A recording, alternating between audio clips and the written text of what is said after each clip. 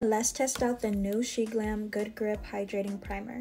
This is one of the new makeup products that SHEGLAM just came out with. This is a silicone free primer and it's supposed to give you a hydrating feel, a refreshing feel. This is supposed to make your skin soft and smooth, healthy, and just give you a nice glowy look. This is gonna help my makeup last all day long. Comes with quite a lot, like about that much.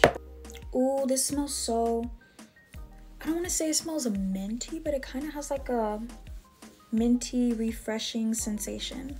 So, yeah, I'll put that all over my face. You guys see that? This is how my makeup looks. This is definitely Symphony approved. I rate this a 10 out of 10. You guys need to try this out.